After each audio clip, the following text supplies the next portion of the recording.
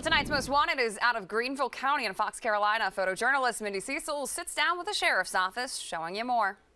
All right, Sheriff, who's this week's Most Wanted? This week's Most Wanted is 24-year-old Rosy Guzman. Rosy is wanted for unlawful neglect of a child. In September of 2022, a warrant was obtained for Miss Guzman after investigators discovered the victim. Miss Guzman's young child tested positive for methamphetamines found through a narcotics test from a hair sample. Why did you decide to highlight this case? Well, obviously, the victim is a child, which is certainly important, and we know that she can't speak on her own behalf, so we wanted to highlight them here. Rosy's 5'6", 150 pounds, with brown hair and brown eyes. The whereabouts of Rosy is still unknown, but with the public's help, we hope to locate her.